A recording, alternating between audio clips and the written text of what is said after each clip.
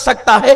एक मरतबा सैयदा खदीजतुल कुबरा ने मेरे आका सल्लल्लाहु अलैहि वसल्लम के मशवरे से, जब सैयदा फातिमा की उम्र चार साल की थी, सैयदा फातिमा की उम्र चार साल की थी, जेवरात खरीद कर लाए और हुजूर ने और खदीजा ने अपने हाथों से सैयदा को पहनाया। किसको? चार साल की सैयदा फातिमा को पहनाया। और पहनाने के बाद जनाब खदीजा ने कहा कि मेरे सरताज, कितनी खूबसूरत लगती है मेरी बेटी फातिमा, जेवरात पहनकर खूबसूरत इसलिए कह रहा हूँ कि सैयदा आयशा सिद्दीका सलामुल्लाह कहती है, मैंने सीरत में, सूरत में अगर किसी को मोहम्मद अरबी देखा है तो सिवाय फातिमा के किसी को नहीं देखा। सूरत फातमी देखकर जलवे मुस्तफ़ा नज़र आता है, किरदार फातिमा देखकर किरदार मुस्तफ़ा नज़र आता है। सैयदा फातिमा सीरत सूरत में ऐन शबीह मुस्तफ़ा थी। अल्लाह अकबर, मेरे आका सलाम की वो बेटी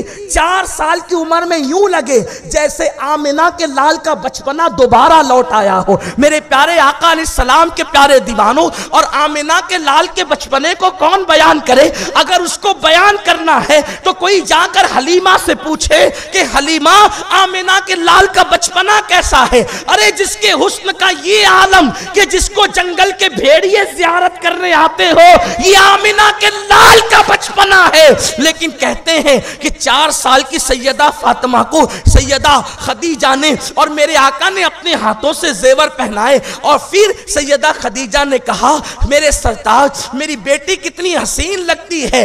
अब जेवर पहनकर सखी की सखी शहजादी घर के बाहर क्या निकली? चंद मिनटों के बाद अंदर आई, सारे जेवरात वजूद से गायब है।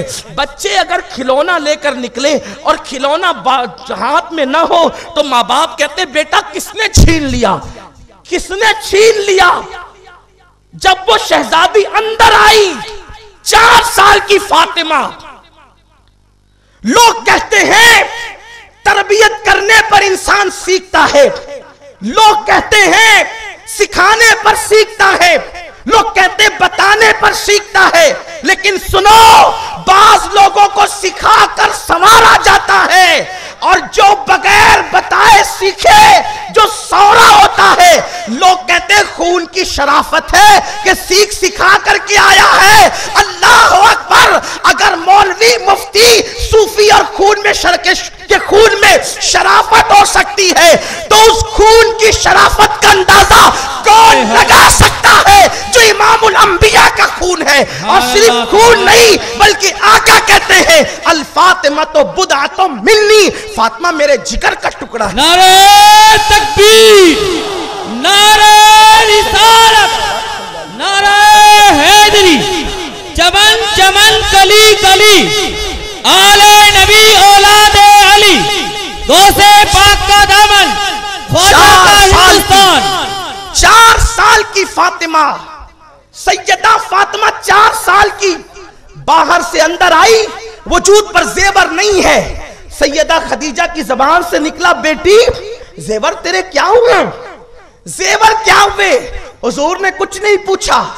मेरे आका ने कोई सवाल नहीं किया। खदीजा कहती, बेटी, वो कीमती जेवर क्या हुए? सैयदा फातिमा बड़ी मासूमियत और सादगी से कहती है अम्मी जान बाहर निकली तो एक गरीब औरत पर नज़र पड़ी। मैंने सोचा जेवर पहनकर क्या करूँगी? मैंने उतार कर गरीब की झोली में डाल दिए।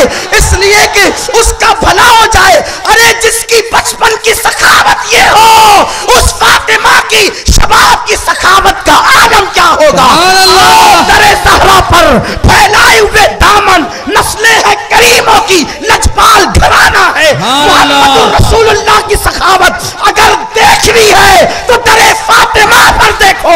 सैयदा फातिमा की सखावत वो है। नारे तकबीर नारे रिसालत। तिजोरियाँ भरी हो तो सभी देते हैं।